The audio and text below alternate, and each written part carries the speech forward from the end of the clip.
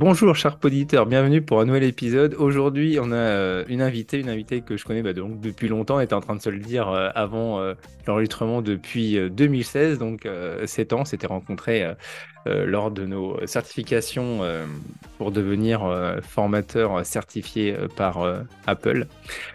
Et depuis, on ne s'est pas beaucoup revu parce que c'est Camille qui a beaucoup voyagé entre temps. Salut Camille, ça va? Ça va super bien. Elle est en forme, Camille, parce qu'elle enregistre. Là, il est 6 h chez elle, 6 h du matin, elle s'est levée tôt pour, euh, pour me faire plaisir et pour, pour enregistrer euh, cette émission. Il fait beau New York? Il fait froid, il fait présentement 2 degrés. Ah, ça va. Et il fait nuit, mais tout va bien, c'est les vacances. Le jour ne s'est pas encore levé. De toute façon, à New York, il fait jamais nuit tard. Enfin, il fait toujours. Euh, le jour, il se couche de bonne heure, non? Le jour se couche de bonne heure, mais par contre, il se lève dans 15 minutes vers 6h45. Euh, ouais, c'est du 6h, 18h, quoi. Exactement. Exactement. Il n'y a pas d'été euh, comme en France euh, jusqu'à 22, 23 heures avec. Jusqu'à 22, 23, non, mais, mais l'été, c'est un peu mieux déjà, quoi. Après, c'est vrai que quand tu rentres en France à Noël et qu'il fait encore jour à, 6 h du soir, c'est un petit peu. Ça fait bizarre, ouais. Donc, euh, j'ai invité Camille aujourd'hui dans l'émission pour nous parler euh, de l'enseignement euh, à l'étranger. Donc, ouais, il est à New York, mais elle a un peu vadrouillé avant d'arriver dans, cette, dans la Big Apple. Et donc, on va discuter de tout ça et voir un peu peut-être inspirer certains ou certaines d'entre vous qui hésiteraient à, partir travailler à l'étranger. Euh, j'en parlais dernièrement avec une collègue qui me disait ah, tiens ça me tente très bien, elle avait vu une émission ou quelque chose comme ça sur, euh, sur le fait d'enseigner à l'étranger. Donc je pensais que inviter Camille dans l'émission, ça allait pouvoir vous éclairer tous et peut-être vous donner envie ou non de, de, partir enseigner à l'étranger. Et ma première question Camille, c'est pourquoi tu avais décidé donc en 2016 de, de tenter l'aventure à l'étranger et de quitter, quitter l'enseignement en France? Euh, parce que j'adore voyager j'adore l'étranger. C'est complètement euh, une réponse bidon. Non, mais, non, j'ai j'ai fait une partie, euh, une grande partie de mes études à l'étranger, de premier et de, et de deuxième cycle universitaire, et notamment au Canada. Donc c'est dans ce pays que je suis, comment, comment on dit chez eux, tombée en amour avec l'éducation, parce que j'ai pu y être auxiliaire d'enseignement à l'université, aussi prof et coach de basketball dans un collège sport-études et aussi intervenante dans une clinique euh, d'aide à l'apprentissage au, primaire, hein, dans une commission scolaire du Québec. Et en conséquence, quand je suis rentrée en France euh, en après un, un, petit master euh, MEF à, l'UFM qui est devenu l'ESP en, en, Lorraine, j'avais l'idée déjà pendant le, pendant le master de pouvoir éventuellement repartir par la suite. Ce n'était pas une idée fixe, mais en M1, j'ai déjà eu, j'ai eu la chance de remplacer un, un PE en, Russie à Saint-Pétersbourg, un, prof de CPCE1 qui était absent. Donc, j'ai, donc j'ai pris en charge sa classe pour quelques semaines. Et en M2, j'avais aussi eu la chance de partir au Maroc euh, du côté de Rabat euh, pour, euh, pour une, une CM2 aussi. Donc j'avais eu le, déjà le goût pendant, le, pendant les deux années du master de, de ces petites escapades à l'étranger pour enseigner. ça t'a donné envie Ça m'a donné envie. Euh, après, j'ai fait l'année de PES. Mes deux années de, de T1, T2, c'était dans un EREA, donc où j'avais vraiment une grande diversité des profils langagiers des élèves. C'était vraiment impressionnant. Donc, j'avais préparé vraiment la, la, la, la CCFLS, la, alors ça, moi, j'y connais rien. Je peux pas t'aider. La Ça y est, la certification complémentaire en français euh, langue de scolarisation, français langue étrangère. Donc vraiment qui t'apporte beaucoup plus en termes de théorie et de pratique, en termes de FLE, en termes de FLS et mmh tout ça. C'est avec les CASNAV de Paris, Créteil, Versailles. Et puis euh, par la suite, euh, j'ai tenté les candidatures directement après, à la moitié de l'année de, de T2 en fait. D'accord. Par contre, euh, j'avais tenté que les, que les établissements dont les, euh, dont les projets PEDA, en gros, ce qu'ils appellent ici, par exemple, Missions and Values, les missions et les valeurs qui sont prônées par l'école, me correspondaient un peu, quoi. Donc, c'était en 2016 et je suis toujours pas rentrée depuis. Voilà. Et tu étais passé par quel organisme, du coup, pour... Euh, J'ai écrit directement aux établissements scolaires. D'accord, t'es pas passé par un organisme, tu es passé directement par les... J'ai J'ai pour l'Angleterre, puisque tu m'y fais penser avec ton séjour à Londres. Pour l'Angleterre, euh, pour l'Angleterre, c'était j'ai postulé à un poste de résident. Donc dans ces cas-là, tu envoies un dossier à l'AEFE, à l'Agence pour l'enseignement français de l'étranger. Euh, L'AEFE, c'est 560 566 étudiants, euh, 566 euh, établissements pardon, scolaires qui sont homologués. Et donc, pour certains, tu, tu peux y devenir. euh, c'est un statut qui n'existe plus depuis quelques, quelques mois, mais tu pouvais y devenir résident. Donc là, tu dois envoyer un dossier assez neutre et qui est étudié en commission scolaire, hein, en commission paritaire avec un nombre de points. euh, Ouais, ce que tu me disais avant ce que je l'émission, te là, disais, ouais. en fonction de ton échelon. Quand tu Mais passes moi, par la EFE, c'est différent que quand tu passes directement par euh, que tu par fait en directement au établissement, quoi. Bah oui, et en même temps, bah, tu peux très bien te retrouver, par exemple, en Amérique du Nord, dans un établissement qui est Hmm. euh, conventionné ou homologué euh, complètement par l'AEFE, qui gère aussi les homologations et le suivi d'homologation des établissements. Est-ce que tous les établissements français euh, à l'étranger sont pas homologués par la EFE, quoi? non, alors ça, il faut faire attention, ils peuvent être conventionnés, ce qui est encore Hmm. au-dessus, ou ils peuvent être aussi simples partenaires du ministère de l'Éducation nationale et de l'AEFE. Donc, dans un, dans un établissement partenaire, de manière générale, sans faire non plus trop de raccourcis, mais de manière générale, euh, les contrats locaux euh, qui peuvent, qui peuvent être signés, il faut faire davantage attention. euh, pour le, le collègue qui voudrait s'expatrier, il faut toujours faire attention à regarder le, le statut de l'établissement, de manière à regarder quels sont, entre guillemets, les, les textes qui peuvent éventuellement protéger le collègue. Ah ouais, ça c'est important avant de partir de regarder vraiment le statut d'établissement, parce qu'en fait, en fonction de l'établissement, tu n'as pas même, euh, la même protection, c'est ça? Bah, tu peux très bien te retrouver dans une entreprise complètement. En fait, ce sont des entreprises, hein, les écoles. C'est euh, comme si tu travaillais dans une, je sais pas, comme si tu travaillais toi dans une usine pharmaceutique et que tu Mhm. étais ouvrier à la chaîne. Et là, il faut regarder si la, la volonté de ton chef, c'est que les ouvriers euh, et les élèves soient bien ou c'est de, c'est de faire en sorte que les, que les médicaments soient le plus vite commercialisés. euh. tu vois, donc non, non, il faut faire attention. Je pense que c'est quelque chose d'important, ouais, qui- qu'il faut prendre en compte absolument le statut, euh, le statut de l'établissement scolaire. Est-ce qu'il y a des écoles euh, à l'étranger qui ont de mauvaise presse, quoi, du coup, peut-être? Ouais, il y a des écoles à l'étranger qui ont mauvaise presse, il y a des écoles à l'étranger qui ferment, il y a des Mhm. écoles qui n'ont jamais été homologuées, parce que c'est tout un ensemble de critères, y compris le nombre de titulaires qui peuvent enseigner dans l'établissement, etc. Mais euh, oui, effectivement, D'accord. tu peux ne pas être homologué aussi parce que tu choisis, euh, tu choisis de ne pas respecter euh, dans leur entièreté les programmes français. Oui, aussi. hein. Et du Plein coup, de raisons. tu, quand tu as contacté les écoles, tu avais fait un CV pour présenter ce que tu avais fait, tout J'ai fait mon, basiquement, quoi? j'ai fait mon CV ma lettre de motivation et j'ai envoyé Ouais. ça. souvent, ils ont des adresses email, tu sais, comme carrière at Oui. Mhm. J'ai envoyé ça. Je suis partie en voyage scolaire avec euh, mes quatrièmes SECPA et sur le chemin du retour, j'avais euh, des petits courriels pour des entretiens d'embauche. Ouais. Donc, je suis allée à un entretien d'embauche directement en présentiel euh, dans le douzième, juste à côté d'où j'habitais, hein, avec un proviseur et je suis rentrée chez moi et j'ai dit, OK, ce monsieur-là, si demain matin il vend des tuyaux, moi, je vais faire plomberie avec lui. Bon, il m'a, convaincu. Non, non, Il vraiment avec. convaincu, ouais. Il m'a convaincu et puis euh, cinq mois après, je partais pour San Francisco, ouais. Mais euh, du coup, lui, il était sur Paris pour, euh, pour recruter pour l'école de San Francisco. Ouais, pour le lycée français, ouais, Paris, il a dû faire Paris, Lyon, Ah, Montpellier, il se promène partout en France pour justement recruter. euh, en fonction de ces, des, des CV qui hmm, sont présélectionnés. C'est une, D'accord. poli- une politique que font plusieurs des établissements d'Amérique du Nord. Et justement, dans ton CV, euh, je me demandais, tu avais dû euh, peut-être montrer que tu avais un niveau minimum en anglais, peut-être, non? Ouais, euh, c'est vrai, sauf que quand je repense à mon niveau euh, sept ans en arrière, je me dis que c'était pas foufou. Euh, ouais, sur le niveau en anglais, ouais, mais je pense que c'est pas quelque chose de. J'ai Ouais. vu, là, c'est mon troisième établissement en Amérique du Nord. Tu as Hmm, toujours une grande variété de, de- dans le degré de maîtrise de l'anglais de tes Ouais. collègues français, c'est sûr. hein. Le collègue qui est euh, complètement bilingue parce que euh, une mère anglaise, euh, une mère Oui. britannique, un père français, Ouais, ou le collègue peu, ouais. qui a fait Brian is in the kitchen depuis qu'il est en, en, quat- en quatrième, c'est sûr Un peu comme moi, quoi. ben, il y a une grosse différence, surtout que moi, après, j'ai pris espagnol en première langue, par exemple, tu vois. Hmm, Donc l'anglais, je dis toujours que c'est les chauffeurs de taxi qui m'ont appris la, la syntaxe et la grammaire parce Non, mais après, le fait d'être sur terrain, fait effectivement, Ouais, tu, ça change tu tout. progresses facilement, ouais, mais c'est Ça sûr. change Mais, tout, mais je pense mais que c'est au départ, quoi, avant de partir, quoi.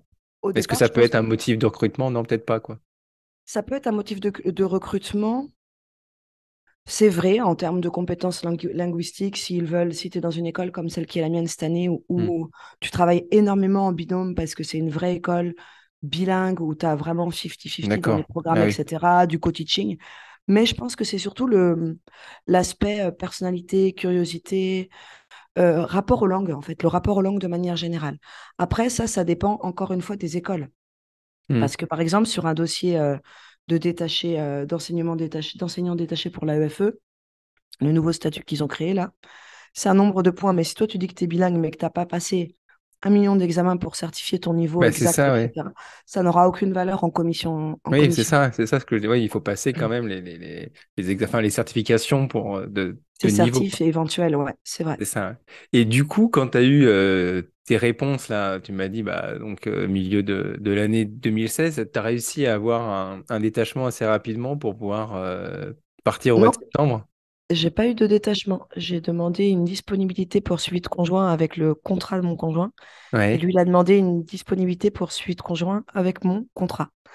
Parce qu'à l'époque, euh, déjà 2016, j'avais eu le détachement de refuser. ouais, Parce qu'une demande de détachement, elle doit être effectuée, elle doit passer par le MEN, et après le MEN envoie dans tes Hmm. académies, euh, Académie d'Orléans-Tours, Académie de Strasbourg, dans, à ton DAZEN qui doit, c'est pour avis, qui doit signer, et après ça remonte au MEN, ça retourne à l'ambassade du pays qui a demandé le détachement. Donc tu as commencé par une dispo quoi. J'ai commencé par une dispo. D'accord. Donc euh, la tu l'as quand même eu facilement quoi. alors elle est de droit, suivre son conjoint, élever Ah des oui, d'accord. élever tes enfants, elle est de droit, en fait. Donc là, du coup, tu n'avais pas de. Pas de stress.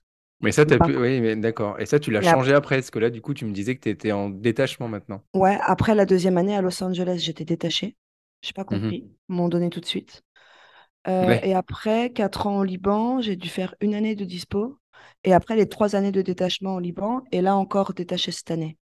Ouais, donc euh, des fois, tu alternes entre euh, soit une dispo, soit un détachement, en fait, quoi. Si tu peux te, si tu peux te le permettre, moi, je peux pas me, permettre de faire une, une dispo. Mais si tu peux te le permettre, tu peux prendre une dispo quand tu as des enfants qui est de droit. Hmm. D'accord. Il y a des critères pour les, celles sur les enfants, mais quand tu suis ton conjoint, tu n'as pas de, de critères. Enfin, tu suis ton conjoint demain, toi, ta, ta femme, elle est mutée à Bordeaux, euh, tu peux partir à Londres. Il ne faut pas qu'elle soit dans un département qui soit frontalier de Ouais. celui dans lequel tu enseignes. Donc, euh, D'accord. Mais non, non, normalement, tu demandes une dispo pour convenance personnelle ou, euh, ou un détachement. Le détachement n'étant pas ouvert aux collègues du privé. C'est la grosse différence. Ouais, du coup, je peux pas être détaché. Tu peux pas être détaché, effectivement. Après, le détachement, en tant que tel, tu vas pouvoir payer toi-même pour ta retraite. Donc, tu reçois un appel à cotisation que je viens de Mhm. recevoir la semaine dernière, par exemple, Ouais. pour septembre, octobre, novembre, décembre, sur l'équivalent que tu payerais, le montant que tu payerais en France par Mhm. mois pour ta retraite. Donc, deux fois par an, tu reçois un appel et tu payes cette Ah oui, retraite. Donc, ça, c'est l'avantage d'être détaché. En Ouais, tu gros, en payes quand même dispo, ta tu pourrais être. Tu... Ouais, c'est juste que tu as le mo- les moyens de, la- de la payer. Mais maintenant, enfin, que tu reçois l'appel à cotise. Maintenant, il y a une nouvelle loi qui est sortie depuis euh, 5-6 ans qui te permet de faire de même, de justifier d'un passif de tant d'heures par année euh, Mhm. et du coup de pouvoir, euh, de pouvoir cotiser comme ça euh, pour tes, pour tes échelons. Parce qu'en détachement, tu continues d'augmenter dans tes échelons normalement. D'accord, pareil, ouais. Ouais, du coup, Ouais. niveau, euh, niveau salaire, c'est payé par qui, en fait, quoi, du coup? Alors, quand tu es aux États-Unis, tu toujours, quand tu enseignes euh, à 100%, tu es toujours payé par l'établissement. Ce qui fait que tu as des énormes différences selon les États, Mhm. selon aussi euh, les taxes, parce qu'il y a des États américains qui, Ouais. qui ne taxent pas. Au Texas, euh, le roi du pétrole, c'est un jeu de mots, non, je rigole. Mais, euh, mais euh, ouais, donc ça dépend, des, ça dépend directement des établissements scolaires. Euh, par contre, quand tu, quand tu as le statut d'enseignant détaché ailleurs que euh, aux États-Unis, Ouais. tu, dans un lycée qui est, dans un établissement scolaire qui serait conventionné, par exemple, tu es payé par la France avec un, une ISVL, une indemnité de suggestion sur la vie locale, une petite indemnité. Là, tout a été réformé Comme au l'année Liban. dernière. Au Liban, Comme au Liban. comme ça. Au Liban, Exactement, donc Tu étais payé par l'éducation nationale plus ton indemnité. C'est ça? Ouais, exactement. Donc, tu as vraiment ton salaire français, euh, si tu es, je sais pas, Ouais, T7, tu as vraiment le même salaire que si tu étais à Paris. Tu n'as d'accord. pas, l'indemnité de résidence, là, 1 ou 3% ou 0%. Mhm, Et en plus, tu as une indemnité qui est calculée, qui est recalculée, réévaluée tous les trois D'accord. mois. Et là, par contre, aux États-Unis, t'es pas payé du tout par l'État français, Ah, juste par euh, l'école de New York, quoi. Directement par l'école, ouais. Directement par l'école. euh, ce qui ça, tu les peu- déclares pas en France, du coup? Ça, tu déclares pas en France. D'accord.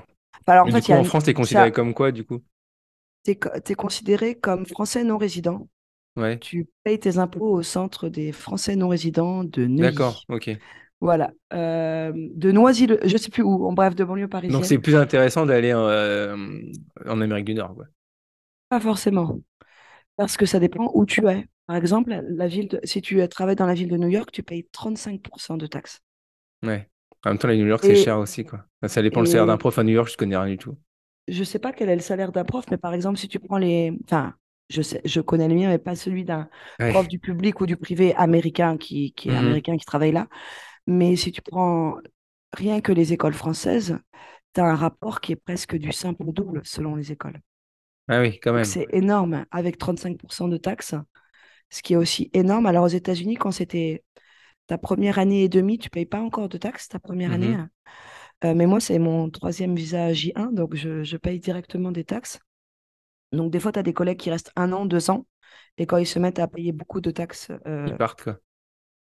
Ils quittent, donc tu peux avoir un Ils turnover. trouvent mais ça ça moins intéressant, quoi. ils trouvent ça moins intéressant, sachant que en France, on, on la voit peut-être passer, mais pas de manière aussi importante. Quand tu vas payer ta MGN ou ton assurance Mhm. maladie à 40, 50, 60, peut-être 80 euros par mois, Mhm. ici, c'est plutôt 1000, 1200, 1500. Donc ça, c'est aussi quelque chose à prendre en compte. Ouais. Il y a des grosses différences entre les établissements. Est-ce que l'établissement euh, paye pour ton assurance maladie, participe, te rembourse, paye à quelle hauteur, à quel Ouais, parce qu'il n'y a pas de pourcentage? sécu aux États-Unis, donc. euh, hmm. Ah, non. Donc il y a donc ça, pas ouais, mal y a de mal paramètres qui entrent en compte, quoi. Mais ça, de toute façon, euh, lors de l'entretien, tu vois tout ça avec, avec le directeur, hein, non? t'attends un petit peu après, avant, de- au moment, Bah au non, mais c'est quand même important de savoir où tu mets les pieds Oui, quand même. Donc, même financièrement, c'est, enfin, c'est bien beau de partir à important. New York, mais si c'est pour que ça soit pas non plus Ah, c'est sûr. contra- si c'est pour que ça soit contraignant, euh, voilà quoi. Non, c'est sûr. C'est tout, tout se calcule. Tu fais Bah des oui, bons ça. calculs. Ouais. Et donc, du coup, je me rappelle, donc, tu es parti à San Francisco et donc là, tu étais dans un super établissement, non? C'est pas là où tu avais tous les, euh, les, les enfants, je sais pas quoi, de Twitter ou j'en sais rien là. euh, Non, de. Si, c'est pas, pas un truc comme ça dans ta classe? Non, c'était euh, les- des enfants de, bah, je peux pas trop le dire, mais c'était des, c'était enfants qui tra- de beaucoup de compagnies de la, Ouais, de la. de la Silicon Valley, Ouais, c'est effectivement, ça, ouais. ouais. avec un, un fric du croc, tout ça là. Ouais. Ouais, ouais. Et pourquoi eux, ils avaient choisi d'inscrire leurs enfants dans une école française, du coup? Ça, c'est une bonne question parce qu'il n'y a pas toujours, y compris dans cette, euh, dans l'école qui est la mienne cette année, il n'y a Ouais. pas toujours de, de, parents. L'un des, bien sûr qu'il y a des familles françaises Mhm. ou des familles où le, pa- le père ou la mère de l'enfant ou l'un des parents, je vais dire, euh, est français, mais ce n'est pas toujours le cas. Je pense qu'il y a aussi des parents qui ont eux-mêmes grandi à l'étranger, euh, Ouais. évolué en tant qu'élève dans un lycée français. C'est le cas d'un d'un père que j'ai euh, cette année d'élève qui n'est bah, qui n'est francophone que parce qu'il a fréquenté un établissement français. Et donc, du coup, Euh, euh, je pense que c'est vraiment pour le rapport à la, à le rapport presque euh, parfois mythologique à la langue et à la culture française, mais aussi parce que du coup, ça va quand même euh, faire en sorte que ton enfant va se développer et grandir dans un contexte qui est multilingue. euh, avec une... Et puis, le fait que le, le, le réseau de l'AEFE, le réseau français, c'est un réseau d'écoles à l'étranger qui est unique au monde. Il n'y a pas d'autres pays au monde. Tu, par exemple, demain, tu veux, tu pars euh, à l'étranger, tu dis, tiens, je vais mettre ma fille à l'école italienne. Bah non, Mhm. je vais mettre ma fille à l'école euh, anglaise ou chinoise. Il n'y a pas ça. La. France, ça, c'est vraiment quelque chose C'est un de... truc euh, français, ça, d'avoir des écoles partout dans le monde, quoi. C'est un truc. ex- Alors, la Belgique a ça, euh, dans une moindre Mhm. mesure, notamment dans ses ex-colonies euh, africaines. L'Angleterre a ça un petit peu aussi en Asie, mais sans aucune commune mesure avec la France. peut-être qu'à l'étranger, on a aussi la réputation, je sais pas, l'excellence à la française, j'en sais rien. Ou, Alors, il y a, c'est pour ça que je te disais ce rapport Ouais, mythique, ce rapport. Non, non, ça, c'est certainement vrai. Sur la, sur les aspects Euh, moi, je le vois pour avoir fait mes études au Canada après avoir été en France. Euh, c'est vrai qu'on est, on a le côté d'être très préparé pour les études, d'avoir une certaine maturité, même si nous, on pourrait se dire, attends, t'es sûr euh? C'est ça. Non, mais d'avoir une certaine maturité, une, une capacité à, méthodologique, à rédiger, des Mhm. choses, ce genre de, de compétences-là. Et puis aussi, je pense parce que effectivement, c'est un réseau unique. Donc, si à partir du moment où tu es dans n'importe quelle grande ville de la planète et que tu te dis dans quel contexte mon enfant euh, peut évoluer avec deux, trois, quatre, cinq langues, bah, finalement, c'est rapidement euh, une école française, c'est vrai. Ouais, non, c'est ça, parce que c'est vrai que nous, on pourrait se dire, t'as vu la, la tronche des écoles en France, quoi? Pourquoi nous, à l'étranger, on arrive à avoir, euh, enfin voilà, euh, des Ouais, écoles qui sont, qui sont prisées, parce que je pense qu'en plus, euh, le droit d'accès pour, pour les familles, ça doit pas être, ça doit pas être donné, quoi. c'est pas donné. Tu as souvent des entretiens pour les enfants Ouais. qu'ils passent pour pouvoir rentrer avec euh, tout un dossier à monter de candidature, en fait, finalement. On Mhm. parlait de celui du prof tout à l'heure, mais en fait, pour l'enfance, c'est pareil. Moi, ça m'est arrivé dans ma vie de faire quoi? Une dizaine de lettres de recommandation pour des enfants dont le, dont le nombre d'années n'était pas, euh, n'était pas à deux chiffres. hein. Donc, avec des lettres de recommandation et, et des explicitations autour des compétences de l'enfant. Donc, oui, effectivement, tu as, ça. Et puis, le coût est très élevé, Bah oui. sachant que tu as des bourses, un, tout un système de bourses, mais qui est accessible uni- uniquement aux, aux enfants qui sont français. Ah Donc oui, oui, oui, c'est que pour les enfants français, ouais. Oui, du bah, coup, il y a des, il y a quand même des places réservées, par exemple, pour ceux qui sont, enfin, pour les Français de l'étranger, même pas, en fait, quoi. même pas, c'est même pas un système de place parce que le système de bourse, il est pas, c'est pas le lycée qui te donne la bourse, Mhm. c'est l'ambassade de, du- de France du pays dans lequel tu es. D'accord. Il va euh, statuer, se réunir en commission, étudier les dossiers, qui a tant de sommes de, qui lui vient de la France, et en Mhm. contrepartie, qui va allouer une bourse. Donc, si toi, demain, tu déménages, tu dois scolariser ta fille euh, dans un lycée français, tu vas faire une demande Et T'es même pas sûr d'avoir euh, une place en plus, quoi. Non, ah non, Tu Ouais. vas d'abord scolariser ta fille, après tu vas demander la bourse à l'ambassade et tu vas croiser les doigts.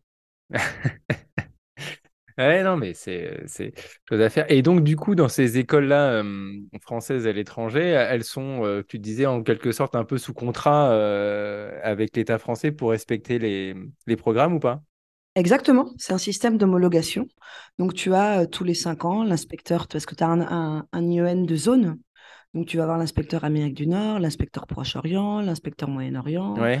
l'inspecteur Europe du Nord, etc. etc. ou Mhm. inspectrice, hein, pardon. Euh, donc euh, qui va venir effectivement vérifier que, euh, vérifier que l'établissement suit le curriculum suit les programmes, suit le BO français, respecte les IO aussi. hein. Donc, oui, pareil, les taux horaires aussi, pareil, à peu près.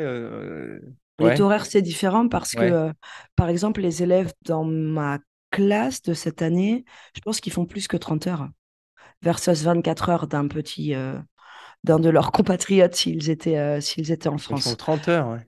Ouais, mes élèves, ils ont, moi, j'ai Ça fait euh, des 12 sacrées heures. semaines, ça, 30 heures, Ça fait des sacrées semaines. Mes élèves de, mes élèves de l'année dernière avaient 30 heures aussi. Ils avaient euh, 8 heures par jour. Euh, non, ils avaient euh, 6 heures par jour sur 5 jours. Sachant que nous, on n'a pas les mercredis après-midi ou les mercredis matins. C'est Ouais, vraiment mais 5 bon, si jours. c'est 5 jours, 6 heures par jour, c'est énorme, quoi. Enfin, ça fait des grosses, grosses semaines, quand même. 6 heures par jour, ça, c'est énorme, ouais. Ça fait des grosses journées.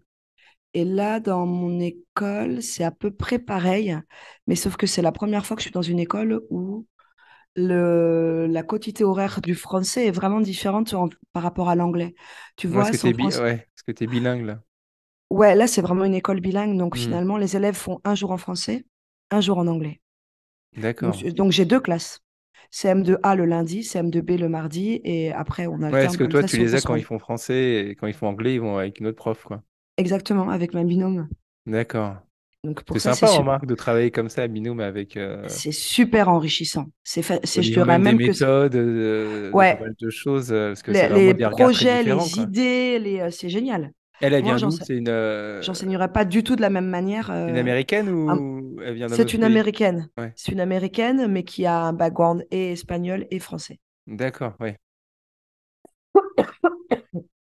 D'accord. Donc non, Et- ça c'est ça. alors qu'à diffère. à San Francisco, c'était euh, entièrement français? À San Francisco, les élèves devaient avoir 5 heures ou 6 heures maximum d'anglais dans la semaine. Mhm. Donc toi, tu avais quasiment 20 heures pour faire, entre guillemets, euh, les, Ouais, le attendus de tes, euh, les attendus de tes programmes. La variation, en fait, elle est vraiment énorme selon les établissements. Les peut-être que pour le PS, euh, aux États-Unis, à l'étranger, c'est différent que chez nous. Il y a peut-être pas, de- il y a peut-être des animateurs, non? Des, des Alors temps le dédiés, PS, il y a ça, de structure aussi, quoi.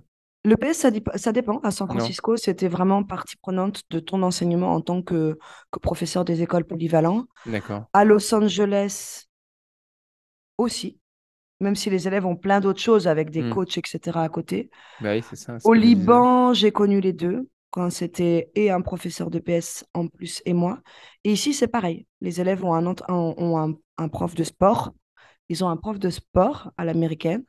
Ils ont vraiment euh, éducation physique. Euh, et après, moi, je les ai aussi une heure en EPS. D'accord. Donc, ils ont une heure en anglais avec un professeur spécialisé, une heure avec moi. Mais Et ouais, ça doit être, euh, ça doit être sympa d'enseigner l'histoire et la géographie euh, française euh, des Américains. c'est génial, c'est génial. euh, ça dépend beaucoup des programmes parce que euh, si tu prends le programme de CM1, par exemple, en histoire, Ouais. c'est super facile de l'enseigner à l'étranger. Au Liban, l'année dernière, c'était presque plus facile parce que tu as euh, des grottes préhistoriques tout autour de chez toi. Tu as euh, Byblos, l'alphabet phénicien, c'était là que ça a été inventé. Donc, euh, il y a vraiment, euh, ça- selon les programmes, tu as des choses qui sont intéressantes à faire parce que tu dois toujours contextualiser. Donc, c'est fascinant. Là, tu commences en CM2, tu fais un rappel sur la Révolution française. Et puis, en fait, ta collègue, elle veut emmener les élèves sur, le, sur les sites de la, de la Révolution américaine. Donc, tu peux pas t'empêcher de faire du. Tu vois, tu vas parler de Tocqueville et de. Lafayette alors que tu n'avais pas forcément prévu d'en parler si tu avais été à Paris. Alors que là, du coup, tu vas, tu vas aborder le sujet. Donc, c'est vraiment intéressant parce que ça te force à contextualiser toujours tes cours en géo aussi. Quand tu travailles sur les déplacements ou la consommation, Hmm. euh, finalement, c'est des, des thèmes qui sont, euh, qui sont presque universels. hein. Oui, oui, non, mais c'est sûr, c'est sûr. Mais euh, effectivement, oui, non, mais c'est, c'est, c'est sympa. Puis je pense que si les parents les, les inscrivent dans cette école, c'est pour cette ouverture aussi, quoi. Absolument, c'est sûr. C'est sur le rapport à la culture, euh, le rapport à la Parce que c'est culture, vrai la... que de, de l'extérieur, on reproche souvent aux Américains d'être un peu auto-centrés sur, euh, sur ce qui se passe aux États-Unis et de, de, de n'avoir peu d'ouverture vers le monde et le reste du monde, non? Oui, c'est vrai. Alors que là, tu vois les élèves, finalement, leur carte du monde, c'est pas une carte avec les États-Unis euh, au milieu, comme, de- comme eux, on en a la... eux, ils en ont l'habitude en termes Bah de oui, ouais, c'est représentation. ça, ouais. Là, pour le coup, moi, mes cartes, elles sont en français, donc euh, c'est un peu euh, européano-centré. Ouais, exactement. Non, non, après, c'est vrai que de toute façon, tu, tu as l'immense chance de côtoyer des enfants qui, de manière générale, à partir du moment où les Mm. parents vont les mettre dans une école internationale ou dans une école française ou dans un contexte multilingue, ont finalement euh, déjà une ouverture euh, et Mm. sociale et culturelle à l'altérité, ça c'est sûr. Oui, ça, bah, c'est ça, oui, déjà, oui, il y a les parents qui suivent. Et du coup, niveau autorité, ça va, quoi. Ils sont adorables. Chaque, chaque année, j'ai les, je dis, ah, j'ai les meilleurs élèves du monde. Et Chaque année, Ouais, je le, je le crois. Chaque année, j'en suis euh, complètement convaincue. Non, mais c'est sûr que dans, dans ce système-là, tu passes certainement peu de temps à faire la police ou à faire euh, C'est vrai. Alors, choses faut, ça. faut, faut pas non plus trop faire de généralité, mais c'est vrai. Non, mais euh, non, non, tu peux te concentrer sur des choses un peu plus, enfin, voilà, plus intéressantes, plus culturelles. C'est aussi intéressant. Voilà. absolument, absolument. Ah non, c'est génial. Moi, j'ai pu, euh, ça fait deux, trois années, mais là, cette année, c'était vraiment, euh, vraiment top. Quand ils sont en conseil coop, Mm. euh, je pourrais euh, aller partir boire un café avec toi tranquillou. Je reviendrai et j'entendrai toujours euh, Merci Edouard d'avoir soutenu mon idée. Alors, oui, Émilie, bah maintenant la parole est à Camille. Camille, par rapport à ta proposition.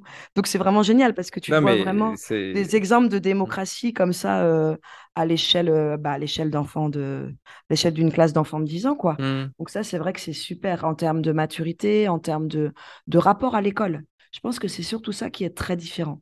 Le rapport à l'école, je ne vais pas faire du Hannah Arendt et du rapport à l'autorité et tout ça, mais le rapport à l'école est très différent chez ces familles, où que ce soit, hein, tu sais, euh, Mm. que, euh, que en France. Donc finalement, ça déteint aussi sur le rapport à l'école que l'enfant va avoir, sur le rapport à l'enseignement, le rapport à l'enseignant.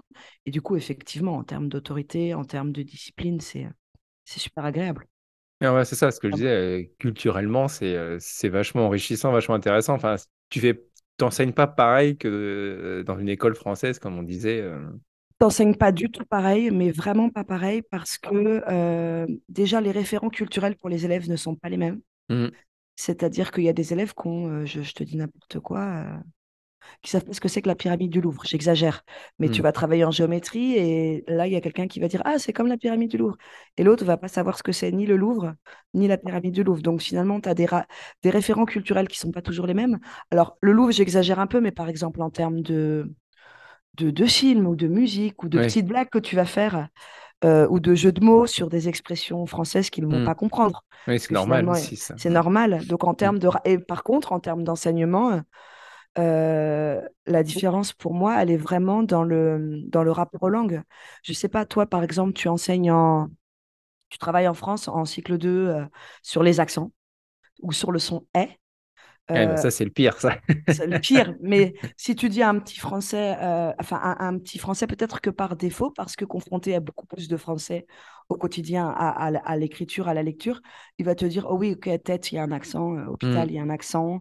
Euh, et là, bah, le petit américain, moi, je, avant, j'étais là-bas, si, tête, c'est un accent circonflexe. Qu'est-ce que tu as oublié l'accent Et en fait, j'ai complètement changé de plein d'approches parce que maintenant, je vais leur dire Ok, think in English.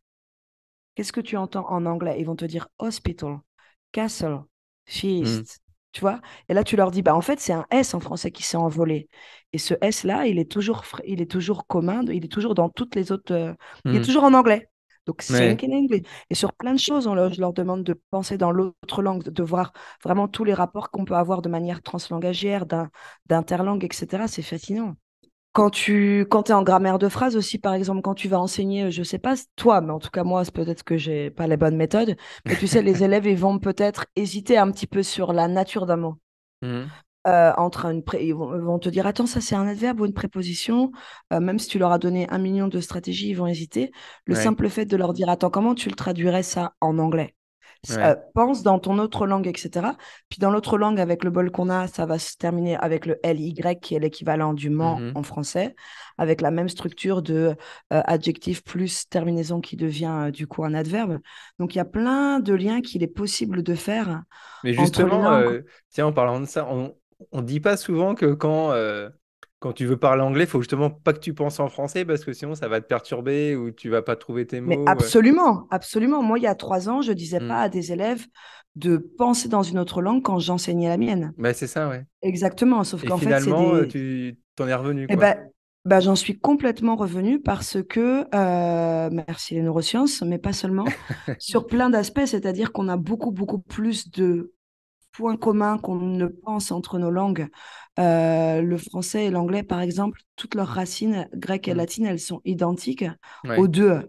Donc, euh, si un élève, il sait comment on dit euh, chrono, enfin, s'il sait que chrono, ça veut dire le temps, ou que la mmh. racine, je te dis n'importe les étoiles, ben, ça, il le sait et en anglais, et en français, et en espagnol, et en italien, et en portugais, etc., etc. Donc, il y a beaucoup plus d'interlangues et de liens et de liaisons à faire entre les langues qu'on ne le pense au-delà de l'aspect euh, très euh, monolangue et euh, monolithique du Camille, tu es en anglais, tu ne parles pas en français, tu es en français, tu ne parles pas en anglais, y compris pour l'enseignant, pas que pour l'élève.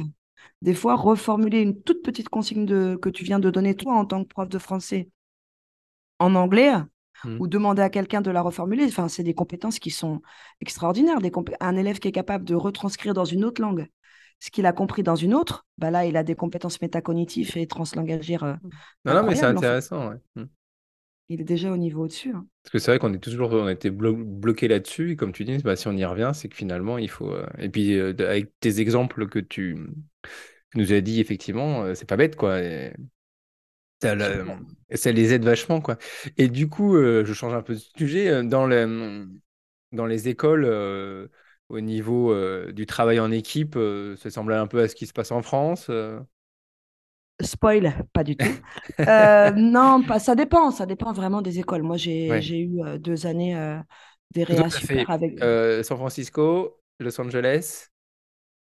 Euh, Liban Brahim, le Liban, ouais, et maintenant New York. et maintenant New York. Donc ça fait quatre établissements euh, différents, c'est ça, sur les sept ans? Ouais, d'accord? Et donc du coup, tu as un peu de moyens de comparer? ouais, exactement. Ça dépend beaucoup parce que c'est vrai que en France, même si par exemple ma première année en France, j'étais dans une école 18 classes. Donc c'est dans une grosse école. Ouais. Euh, mais cependant, des fois, tu peux arriver dans un lycée de 1000, 2000, 3000 élèves, plusieurs campus élémentaires hein, Mhm. qui sont pas forcément au même endroit euh, de la ville, du même côté du, du pont plus, Rouge. Mais, euh, mais du coup, oui, tu as forcément, forcément, forcément une, une volonté de, de, de- d'harmonisation, une vo- f- importante, parce que si tu as des parents qui ont des jumeaux dans deux classes différentes et que les Ouais, attendus euh, des profs, enfin des uns et des autres sont très différents, forcément, ça va peut-être pas passer. Mais au- au-delà de ça, oui, on, on attend de toi aussi euh, un certain rayonnement, une, une nécessaire harmonisation euh, en termes de contenu, de choix, de, de projet. de toute façon, tu vas forcément bosser en, en pilote de projet, y compris avec tes collègues, que Mhm. ce soit tes collègues du niveau, tes collègues du cycle ou des cycles supérieurs, ou en termes Mhm. de liaison, en termes de liaison euh, école-collège, puisque finalement, c'est le même établissement. Ouais. Donc, il y a vraiment énormément de choses à faire, euh, que ça soit dans le, hum, les parcours culturels, par exemple, des élèves, ou dans les parcours citoyens. euh, bah forcément, tu vas t'harmoniser de la petite section à la terminale, selon la, la taille de ton Hmm. école. Donc, il y a vraiment beaucoup, beaucoup de, de choses à faire. Et tu retrouves un peu ce qui se passe dans le, dans le privé où, le, où tu as un chef d'établissement, quoi, un directeur qui est pas. Alors, par contre, tu es vraiment comme. Oui, c'est vrai que oui, c'est finalement, c'est le système du privé que je hmm. connaissais pas trop en France. Mais effectivement, tu as, un M plus 1 et Enfin, un le privé, 2 et souvent, quand tu es dans les grandes, grandes classes, dans les grandes, grandes écoles, parce que sinon, après, c'est un collègue, mais sinon, oui, c'est plus. euh, Ah oui, bah c'est sûr que c'est très hmm. différent avec le, du, du système euh, auquel moi je suis habituée, où finalement on est tous euh, adjoints. Et Et du coup, t'as ton- pas les, t'as pas nos fameuses 108 heures. Ah non, j'ai beaucoup plus. J'aimerais bien avoir que les 108 heures, mais je pense que les 108 heures, c'est un concept qui fait que, que ce soit en France ou à l'étranger, euh, à partir de novembre, elles sont, euh, Elles sont elles faites, sont, elles sont faites. Forcément, ouais. Non, Et non, du coup, t'as, t'as combien d'élèves par classe, à peu ça va varier. L'année dernière, j'avais un, un double niveau intercycle de CM1 avec 25 élèves. Ouais. Cette année, j'ai une classe de CM2 de 12 et une autre classe de 13. Ah ouais, Donc, j'ai aussi 25 élèves, mais de manière différente, puisque j'en ai jamais plus que 13 à la fois. c'est génial. Euh, tu vois la C'est un différence. rêve, non? Ça, ça va être un rêve. C'est 13 c'est un, élèves, c'est le rêve c'est éveillé, c'est un rêve. C'est un rêve Ah éveillé ouais, pour le, c'est. pour le c'est- langage, pour même bah, pour les, pour la tout, bah, remé- c'est pour tout, la 13 élèves. euh, Ouais. Pour les remédiations en production d'écrit, tu as le temps d'aller euh, voir Bah chacun euh, oui, 13, trois c'est minutes en trois quarts d'heure, chose qui serait c'est impossible. incroyable, quoi. Non, ça, c'est ça, c'est vraiment. euh, À Los Angeles aussi, tu étais dans un petit, dans un petit, dans un petit effectif comme ça? 17 CM2 à Los Angeles et 16 CM1 à San Francisco. Ouais, donc c'est c'est quand même royal. hein. C'est euh, Ouais, c'est pas toujours ça, le ça cas à va donner l'étranger, envie mais à plein de profs de partir, de partir non, c'est vrai, l'étranger. non, c'est vrai que le, le nombre d'enfants par classe, c'est c'est génial. Ouais. Après, on n'a pas forcément des élèves qui euh, ont un rapport au français euh, extrêmement aisé. Oui, aussi, Donc, oui, tu donc dois aussi euh, enseigner, cravache un peu plus, quoi, forcément.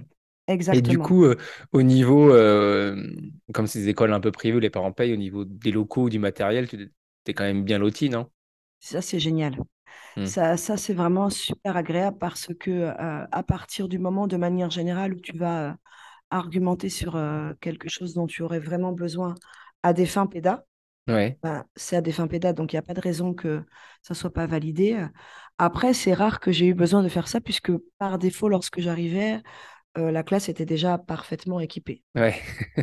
Tu vois, Euh, là, on a une réflexion qui s'amorce dans mon école actuelle autour euh, du mobilier scolaire, de la classe Hmm. flexible, de... et essayé de, de comprendre quel était, euh, bah, quel est le budget exactement, qu'est-ce que je peux faire. Je peux, je peux Hmm. faire mon plan sur Archiclass. Et... Oui, tout à fait, Camille. Donc non, c'est vraiment, euh, c'est Ouais, royal. Hmm. Mm. Et au niveau numérique aussi, non? C'est pas mal euh, équipé ou? Ça, ça dépend. Ça dépend si tu vas. Quelle est la politique de l'école? Ouais. Euh, j'ai eu des grosses différences entre deux bahuts californiens ou le Liban, qui était vraiment avec une grosse portée dessus, tout un travail autour de la réécoute du langage oral, de, Mhm. une volonté de faire sortir euh, les productions orales des élèves de, de la salle de classe. Ça va dépendre aussi de la politique de l'école en termes de rapport aux écrans des parents. Il Aussi, suffit ouais. que tu sois dans une école, par exemple, moi, dans, mon- dans mon école, il n'y a pas de board, il n'y a pas de conseil d'administration. Mais il suffit que dans une école, il y a un conseil d'administration où il y a un, deux, trois parents qui sont euh, complètement opposés à l'idée, par exemple. Ça va être beaucoup plus euh, difficile pour le collègue euh, d'avoir une flotte de one-to-one directement, etc. Moi, j'ai toujours eu de la chance parce que j'ai, pas que j'ai fait les bons choix d'école, mais c'est pareil, c'est des choses à regarder. la aussi, ouais, c'est politique par rapport important à ça. Ouais, donc, ouais, ça dépend vraiment, mais de manière générale, oui, c'est très bien équipé, y compris au niveau numérique, c'est clair. Et d'ailleurs, je sais pas si tu as le droit de le dire, mais ma dernière question, c'est euh, t'as préféré quelle, quelle école du coup? Quelle école? J'ai préféré, moi, Ouais. personnellement, Quelle euh, expérience t'as préférée euh, dans tes sept dur. ans hein. là entre San Francisco, Los Angeles, le Liban et bon New York qui est que depuis cette année, mais euh, C'est dur parce que ceux de San Francisco, c'était des petits gamins à fond, 4 îlots de 4 à hmm. fond. Et euh, on avait fait euh, Toulipo, par exemple, quand il y avait encore euh, Ouais, je 20 me classes. Hmm. Ils étaient à fond, fond, fond. C'était mes premiers à l'étranger, à trop Hmm. adorables. À LA, on était en chaussettes dans la classe. Je les emmenais à Paris 10 jours. euh, j'avais des parents géniaux, génialissimes. euh. Ouais. Là, j'ai revu une élève de Los Angeles euh, la semaine dernière à New York, tu vois, pour te dire. Donc, c'était super. Par hasard élèves comme ça, non? Ou non, non, elle, Ah elle oui, était en vacances, elle m'a Ah, envoyé un petit email, tu vois, maintenant Hmm. elle est en seconde.